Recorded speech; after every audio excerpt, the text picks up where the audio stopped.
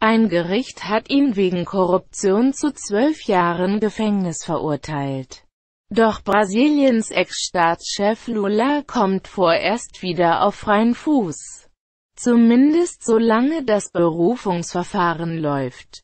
Der zu einer langjährigen Freiheitsstrafe verurteilte brasilianische Ex-Präsident Luiz Inácio Lula da Silva soll vorerst aus der Haft entlassen werden.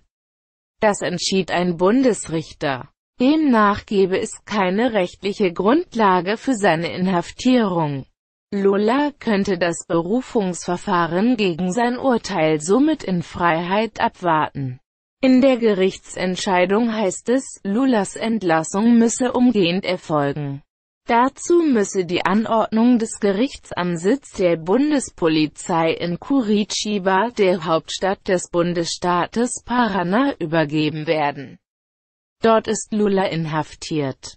Wegen Korruption und Geldwäsche verbüßt Lula eine zwölfjährige Freiheitsstrafe. Er hatte sie erst im April angetreten.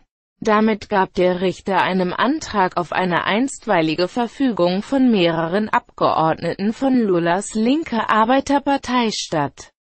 Der Ex-Präsident, der von 2003 bis 2010 Staatschef Brasiliens war, soll von einem Bauunternehmen die Renovierung eines Luxus-Appartements angenommen haben.